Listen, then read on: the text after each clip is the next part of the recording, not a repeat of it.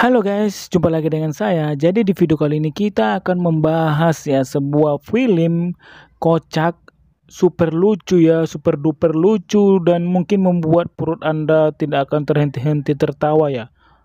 Jadi di video kali ini kita akan membahas sebuah film yang berjudul Man ya, bukan Batman atau bukan apa ya? Dia adalah judulnya Man ya atau tulisannya Bikiman. Jadi Back man. Nah, jadi adalah tukang ojek atau kang ojek ya di mana dia hidup ya di keluarga yang sederhana. Dan dia adalah anak satu-satunya di keluarganya yang menjadi tulang punggung sekarang. Karena ya sudah lama orang tuanya ayahnya sudah meninggal dan dia tinggal bersama nenek dan ibunya. Jadi dia adalah tulang punggungnya sekarang untuk mencukupi kebutuhan keluarga mereka tersebut. Nah, teman-teman penasaran bagaimana alur ceritanya? Nah, di video kali ini saya akan membahas ya.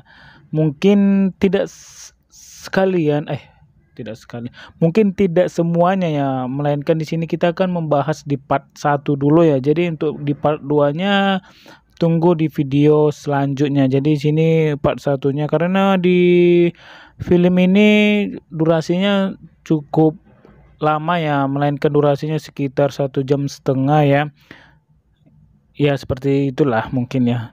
Jadi video jadi film ini sudah mempunyai ranting sekitar 6,3 ya. Mungkin film jadi film ini sudah oke okay dan bagus dengan ranting atau nilai segitu ya. Jadi sebelum kita mulai ke alur ceritanya atau pembahasan filmnya, mari terlebih dahulu kita putar intronya. Zombie Apocalypse.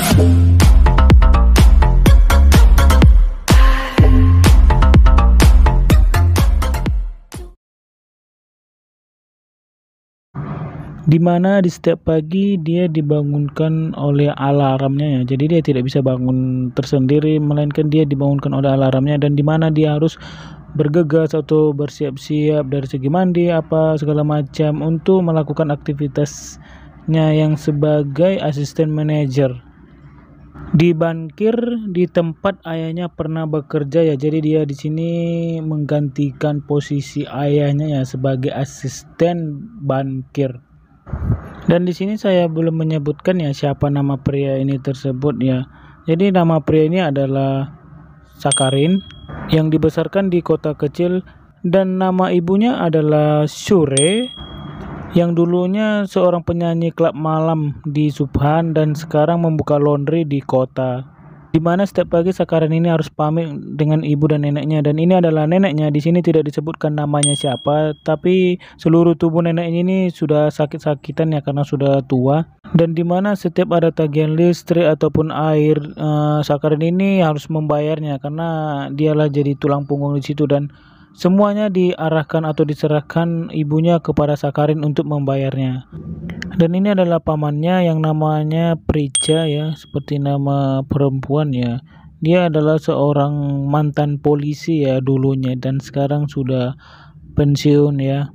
Di mana pamannya ini sering sekali atau suka sekali mengandalkan keahliannya menjadi seorang perwira di waktu dia masih menjalani tugas-tugas seperti penyelidikan ya.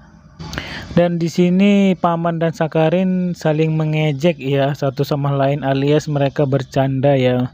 Dan di sini ibunya mempromosikan alias menceritakan bahwa si Sakarin ini sudah menjadi asisten manajer di tempat ayahnya pernah bekerja di bankir ya. Dan ternyata pamannya ini tidak percaya ya atau heran melihat Sakarin ini ya dan paman ini mengatakan kepada Sakarin berhati-hatilah karena dulunya pamannya pernah kena tipu ya. dan pamannya berkata apa hebatnya bekerja di bank dan pamannya membanggakan seorang anaknya yang penuh dengan tato dan bisa dikatakan seperti preman. Seperti yang teman lihat di filmnya, di mana setiap pagi Sakarin ingin berangkat pagi mau bekerja, dia menggunakan alat transportasi yang bisa dikatakan masih lama ya atau zaman dulu. Dan di sini Sakarin sangat bersemangat sekali untuk menjalani hari-harinya yang penuh dengan gigi dan semangatnya. Dia terus berusaha dan selalu membuat orang tuanya bangga dan ternyata sekarang pergi ke toilet teman-teman tahu apa yang dilakukan di toilet? Bukan coli ya melainkan di toilet ini dia melakukan perubahan wujud alias dia mengganti jubah atau mengganti bajunya ya. Yang tadi dia berangkat dari rumahnya dia menggunakan uh, pakaian kantoran dan sekarang dia merubah tampilannya menjadi seorang tukang ojek teman-teman. Tunggu tunggu tadi Sakarin menggunakan jubah atau menggunakan seragam perkantoran ya dan di sini sekarang Sakarin malah menggantinya menjadi seragam Gojek ya. Sebenarnya ini bagaimana ya? Apakah Sakarin ini tukang Gojek atau asisten manajer di bankir ya? Hmm bikin jadi penasaran ya di sini terlihat perempuan cantik, putih, manis, bisa dikatakan beautiful woman ya. Di mana perempuan ini teman lama waktu di sekolah Sakarin ya. Jadi perempuan ini bernama Jai yang selalu mendapat juara di sekolah. Dan di sini si Sakarin sudah jatuh cinta sejak kecil ya teman-teman kepada si Jai ini. Dan di sini si Sakarin kaget dia dan tidak mau mau mengantar si Jai ya. Dan si Jai pun berusaha menyindir atau menyendiri ya atau bersembunyi ya karena dia tidak malu mungkin ya jadi di sini temannya selalu mendorong-dorong Sakarin untuk mengantar penumpangnya dan si Jai menyamparin mereka berdua. Mau tidak mau si Sakarin harus mengantarnya karena itu kesempatan dan Sakarin juga menutup mukanya ya atau wajahnya dengan menggunakan masker dan helm agar tidak ketahuan sama si Jai. Jadi selama di perjalanan si Jai ini penasaran ya dengan si Sakarin atau dengan tukang Gojek ini ya. Si Jai selalu melirik ke kiri dan ke kanan dan tiba-tiba si Jai mengejutkan dan menyebut namanya Sakarin. Dan tiba-tiba si Sakarin menghentikan motornya ya dan si Jai menarik maskernya si Sakarin dan betul-betul bahwa itu adalah Sakarin. Dan di sini si Jai mengingatkan kembali bahwa si Jai ini adalah teman lamanya si Sakarin waktu kecil ya di sekolah yang menggunakan tim oranye ya. Harus orange gitu. Dan Sakarin pun tertawa malu. Dan di sini terlihat cowok gemuk ya. Ini adalah cowoknya si Jai. Di mana di sini? Karena si Jai telat. Jadi di sini cowoknya komen ya atau selalu marah kepada si Jai karena si Jai selalu telat dan selalu melakukan hal-hal yang salah ya. Karena di sini sifat cowoknya ini adalah tegas dan tidak suka melihat orang selalu telat. Dan di sini si Jai mengasih kartu namanya dan menyuruh si Sakarin untuk menghubunginya.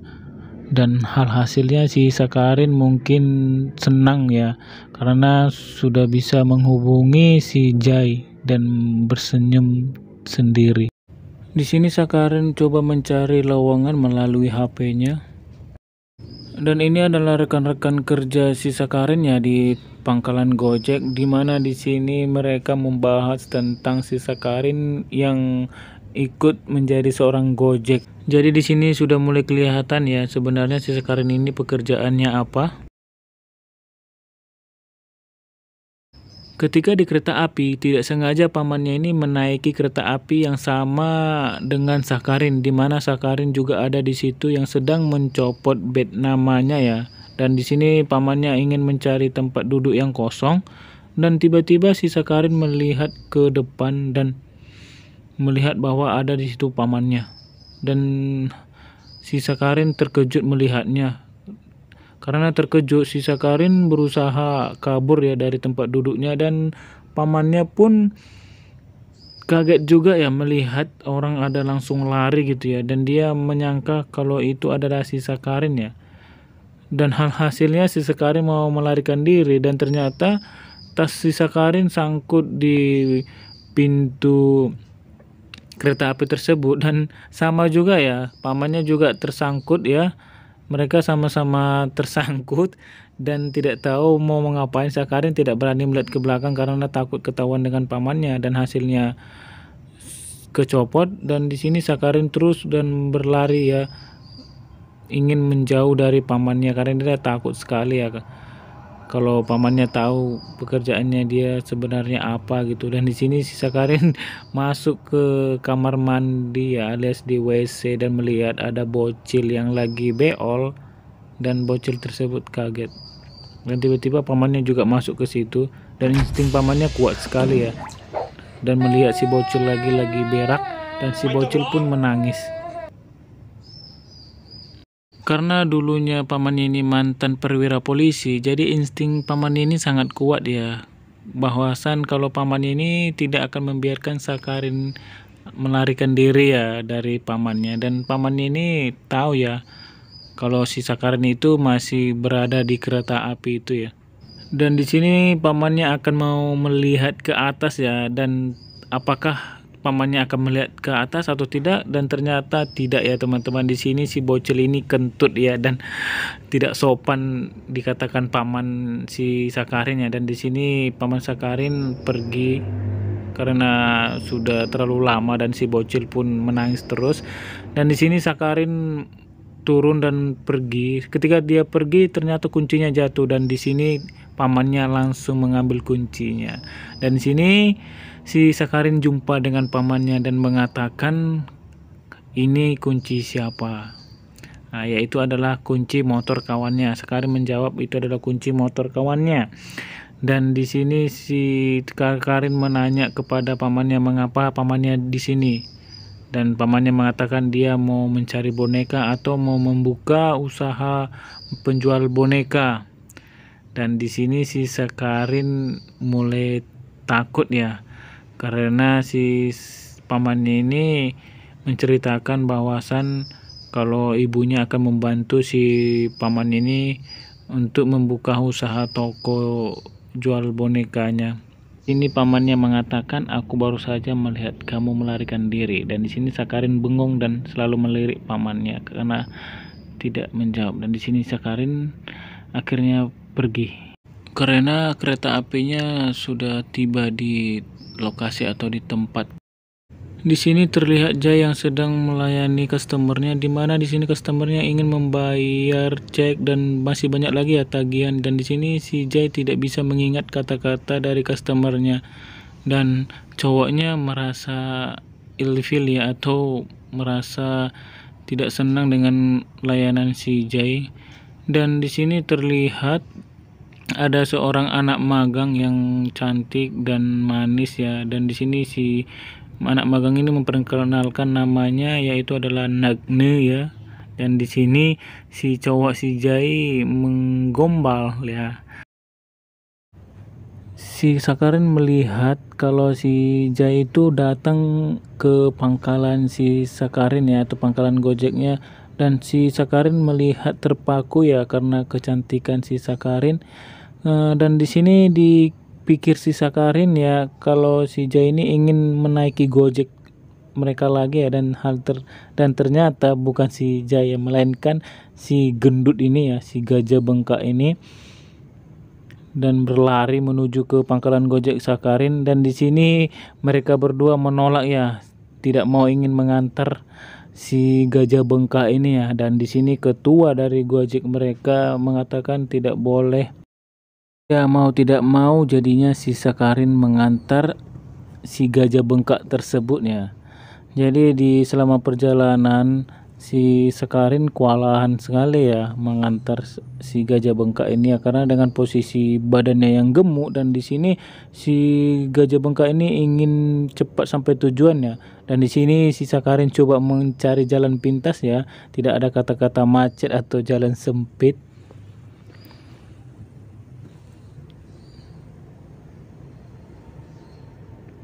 ketika di lampu merah ya. Jadi di sini dia melihat kaca spionnya terlihat ibunya yang sedang mengantar boneka ya yang dikatakan pamannya tadi.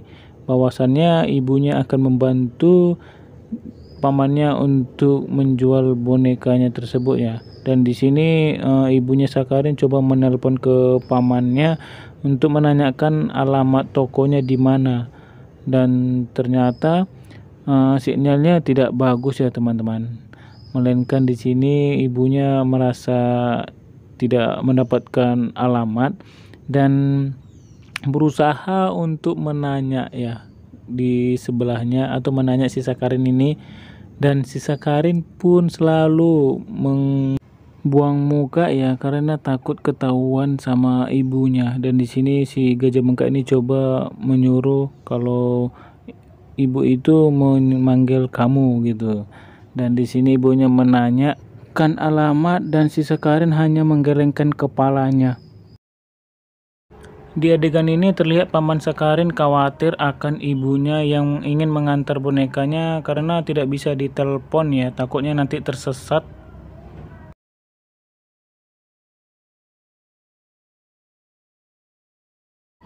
Di sini si Sakarin menjelaskan alamat yang ditanyakan oleh ibunya dan di sini ibunya berpikir ya dan pernah mendengar suara yang Gojek ini ya atau suara sesakarin dia pernah mengenalinya dan menanyakannya kepada dia dan merasa seperti penasaran ya. Dan di sini Sakarin sangat tergesa-gesa ingin cepat lampu merahnya itu menjadi lampu hijau ya dan di sini ibunya terus menanya menanya kamu siapa gitu dan akhirnya Sebelum lampu hijau, si Sakarin pun mentancapkan gasnya ya, melanggar peraturan lalu lintas ya teman-teman. Saking ketakutannya.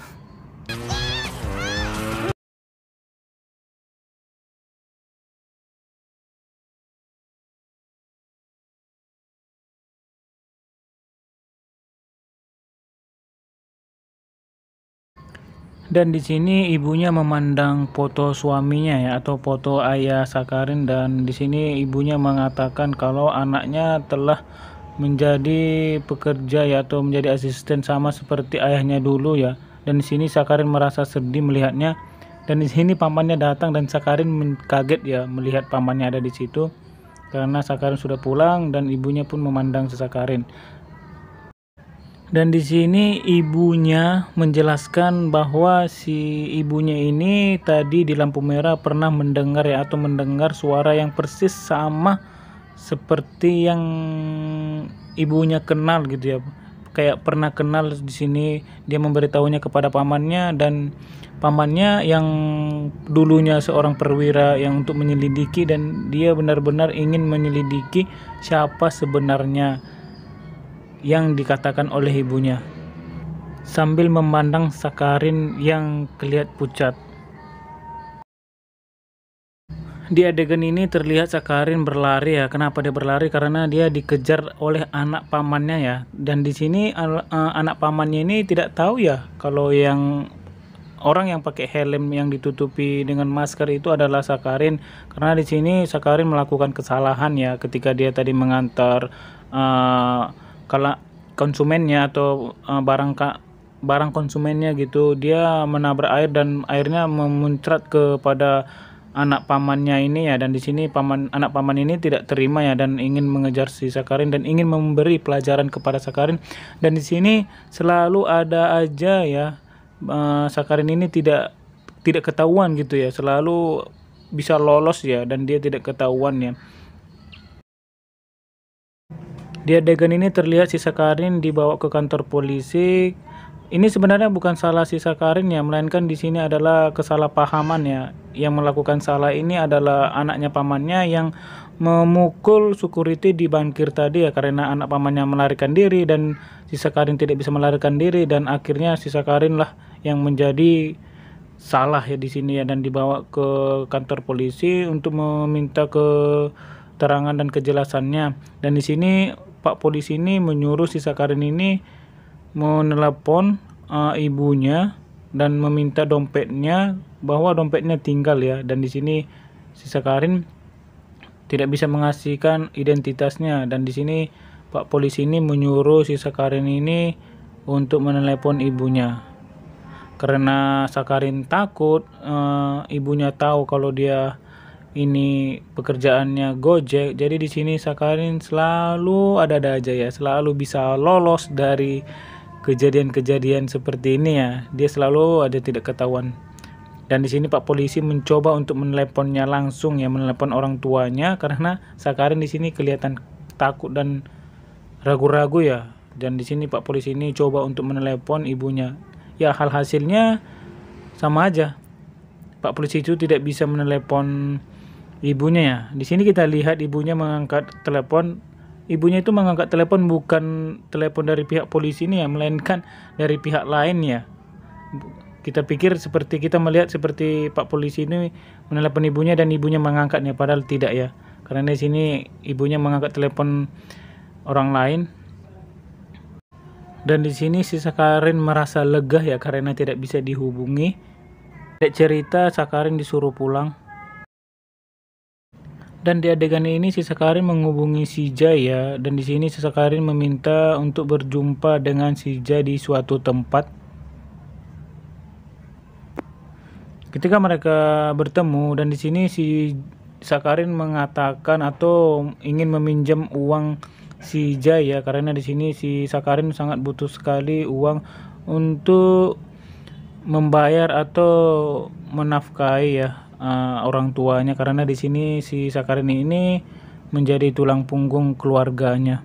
Dan di sini si Jai oke-oke aja untuk mengasih pinjaman dan selalu senang ya untuk membantu Sakarin ya. Dan di sini Sakarin terasa lega ya. Dan di sini Sakarin coba untuk memulangkannya untuk di hari esok ya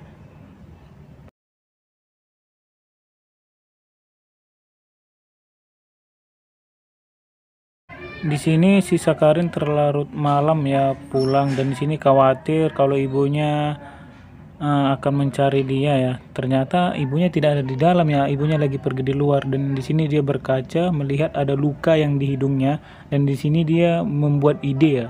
Di sini dia menumpahkan air di lantai dan seakan-akan dia nanti lewat dan dia terpleset. Jadi ibu dan neneknya itu percaya kalau di luka yang ada di hidungnya itu akibat terpleset ketika memasuki rumahnya. Dan ternyata semua yang diidikan dia itu, semua yang dilakukan itu tidak ada tidak menghasilkan sih. Dan di sini Sakarin mulai melakukan adegannya terbaring di lantai dan memukul lantai agar neneknya keluar melihat si Sakarin kalau dia terbaring di situ dan kaget. Nah. Dan di sini neneknya memperhatikan wajah si Sakarin yang terluka itu dan di sini si Sakarin menanya ibunya di mana gitu. Padahal ibunya pergi memberi pakaian dan tiba-tiba ibunya pulang. Apakah yang terjadi? Di sini neneknya selalu menanyakan si Sakarin ya. Lukamu itu kenapa gitu ya? Jadi neneknya ini mengira lukanya itu kena pukul orang atau berkelahi. Dan di sini Sakarin menjelaskan kalau saya habis jatuh dari lantai tadi. Dan di sini neneknya mengatakan, "Oh, tetapi nenek mengatakan kamu dipukuli orang ya." dan ibunya pun mulai masuk ke rumah dan alhasilnya ibunya terpleset dan jatuh dan ditimpa oleh mesin cuci. Lucu ya.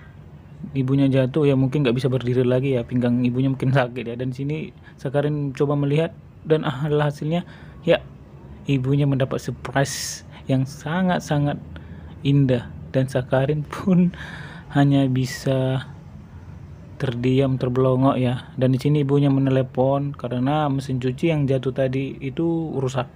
Dan di sini menelepon biayanya berapa dan di sini mengatakan kepada Sesekarin bahwa biaya servis untuk mesin cuci itu terlalu mahal dan di sini ibunya mencoba lebih bagus kita membeli yang baru dan si Sekarin berpikir sejenak karena dari tidak duit dan di sini Sakarin mengandalkan ya atau meng membangga-banggakan kalau saya ini adalah asisten manajer. Ibu tidak perlu takut, ibu tidak perlu khawatir. Nah, seperti itu Sakarin mengatakan kepada ibunya.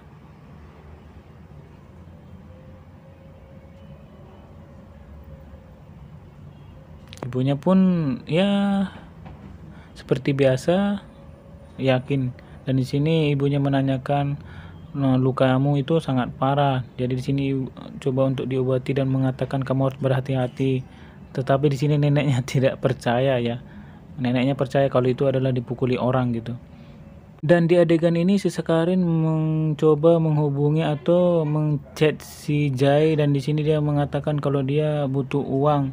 Dia berniat atau ingin meminjam uangnya si Jai lagi ya untuk memper untuk membeli mesin cucinya ya untuk memperbaiki mesin cuci atau membeli ya yang penting dia di sini meminjam uangnya si Jai lagi dan sen dengan senang hati si Jai meminjamkan uangnya lagi kepada si Sakarin. Ya mungkin di sini mereka cek-cetan ya seperti para yang lagi bucin ya atau budak cinta atau yang lagi jatuh cinta atau kasmara ya. Mereka di sini saling romantis saling ya cek-cetan ya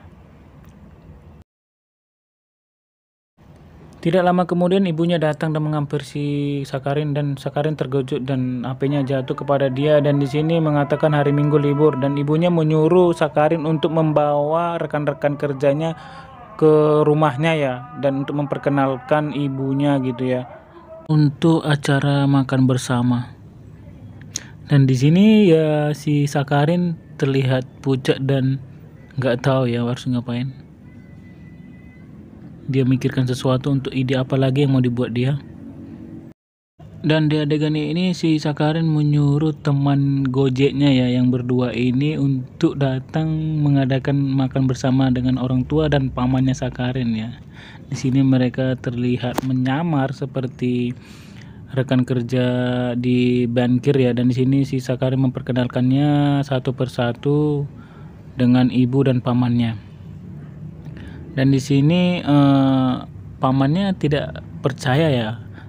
Sama sekali tidak percaya kepada kedua temannya Sakarin ini.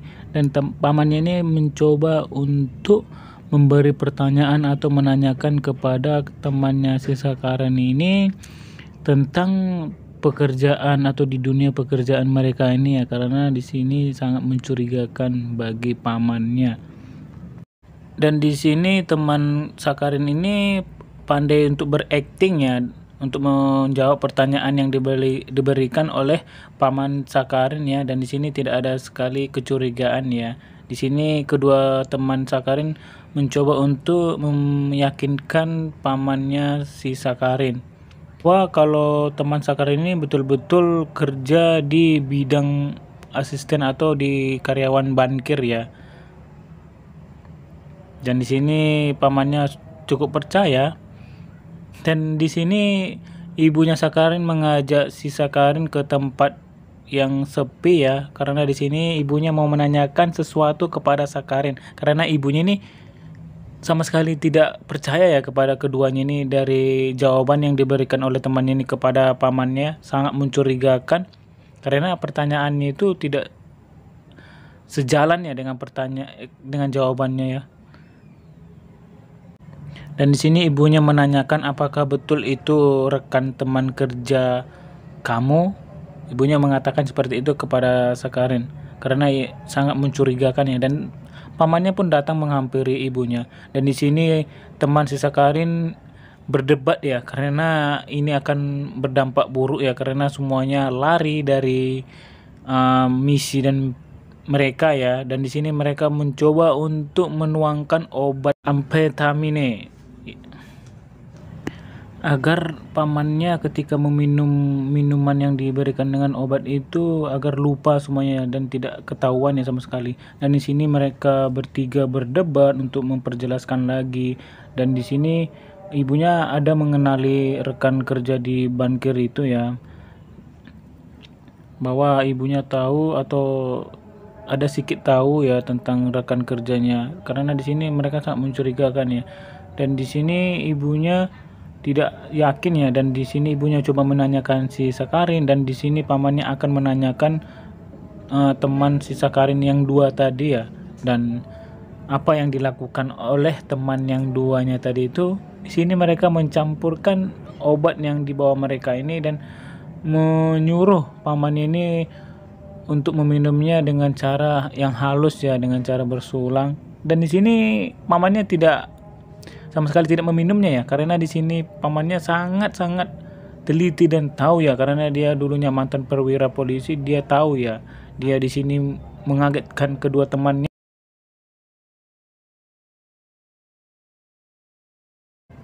Dan berkata apakah kalian mencampurkan obat di minuman ini? Dan di sini temannya kaget dia karena di sini pamannya menjelaskan kalau saya dulu pernah menjadi seorang perwira dan menyelidiki hal-hal seperti ini dan hidung saya ini sangat bisa mencium kalau di sini adanya obat. Dan sini temannya coba untuk meminum minuman yang diberi obat itu karena sini untuk meyakinkan pamannya kalau tidak ada obat yang dicampurkan di dalam ini.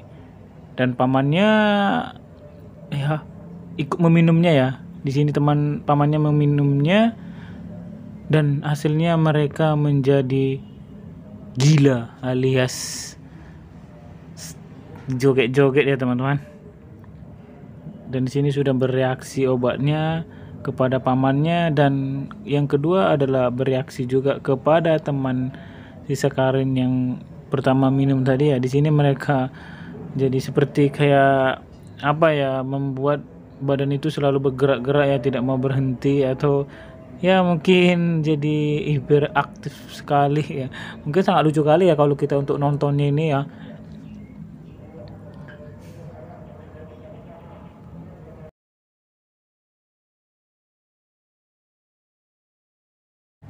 Di adegan ini terlihat Sakarin ingin berangkat kerja ya atau mau berangkat kerja. Dan di sini Sakarin jumpa dengan si Jai seperti berlewatan ya atau tidak saling memperhatikan. Dan di sini si Jai sangat heran melihat laki-laki ini dan mengatakan kalau itu adalah Sakarin ya. Dan di Sakarin di sini mencoba untuk membuang muka dan tidak mau menjawab dari pertanyaan yang diberikan si Jai itu ya. Dan di sini si Sekarin dan si Jai saling apa ya ketakutan gitu ya. Dan di sini si si Jai coba menghubungi nomornya si Sekarin dan ternyata bunyi. Dan di sini si Jai mengejarnya si Sekarin ya.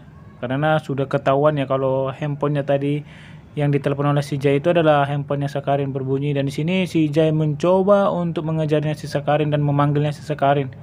Karena si Jai itu yakin kalau itu adalah si Sakarin dan apakah si Jai bisa mendapatkan si Sakarin? Mari kita saksikan di episode selanjutnya.